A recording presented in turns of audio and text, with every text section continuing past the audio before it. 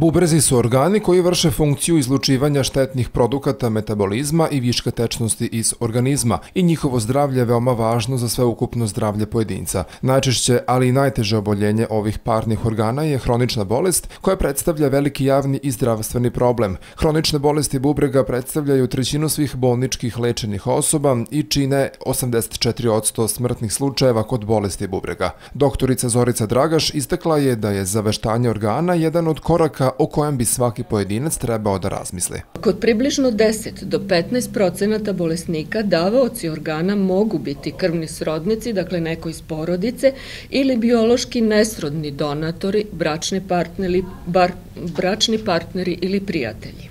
A za ostale bolesnike se traže podudarni davaoci, a to su osobe sa utvrđenom moždanom smrću.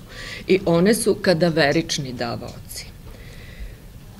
U našoj zemlji je potrebno povećati broj kada, kadaveričnih transplantacija i to naravno ne samo bubrega.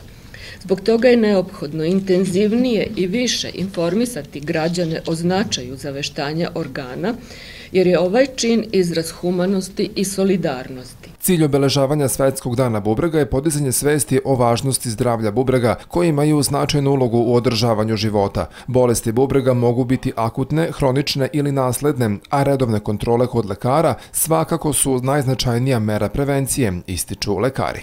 Potrebna je striktna kontrola šećera u krvi, jer diabetesna nefropatija, odnosno mikrovaskularna komplikacija diabetesa je jedan od vodećih uzroka terminalne bubrežne slabosti. Otkrivanje početne nevropatije kod diabetesa je neizostavni deo redovnog praćena pacijenata i važno je glikemiju održavati u normalnim granicama.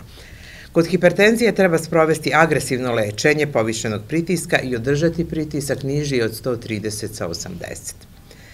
Zatim lečenje poremećaja lipida, ograničiti unos soli, prestati pušiti, potrebna je redovna fizička aktivnost, pravilna ishrana, održavanje telesne težine, neuzimanje lekova koji su toksični za bubrega, odnosno ne uzimati sam lekove, uvijek se posavetovati sa svojim lekarom, uzimati dosta tečnosti. Saradnja zdravstvene ustanove Apoteke Subotica i Udruženja bubrežnih bolesnika grada Subotice rezultirala je objavljivanjem brošure namenjene bubrežnim bolesnicima. Brošura sadrži neophodne informacije o vitaminima koji treba da se koriste pre i nakon dijalize i koji su to vitamini od izuzetnog značaja za zdravlje bubrežnih bolesnika. Zašto su bitni ovi elementi? Elementi su bitni zato što na dijalizi vi putem hrane, kao normalni građani, kroz normalne aspekte ishrane, kroz propagandne aktivnosti svakakvog karaktera, kada pročitate ishranu, režime, dijete i tako, to za nas ništa ne važi. Zato što mi ne možemo normalno da iz namirnica biljnog i životinskog porekla, iz voća i povrća u nekakvim optimalnim količinama da dobijemo te potrebne količine, jer su nam one ograničene iz dva, tri razloga.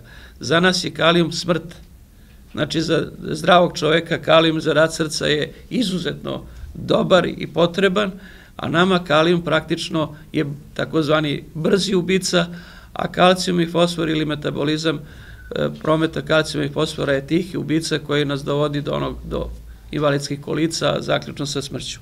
U Severnobačkom okrugu u 2014. godini od bolesti bubrega i urinarnog sistema umrlo je 28 osoba, od kojih je 16 muškog, a 12 ženskog pola. U 22 slučaja radilo se o hroničnoj, a u 4 o akutnoj bubrežnoj insuficijenciji.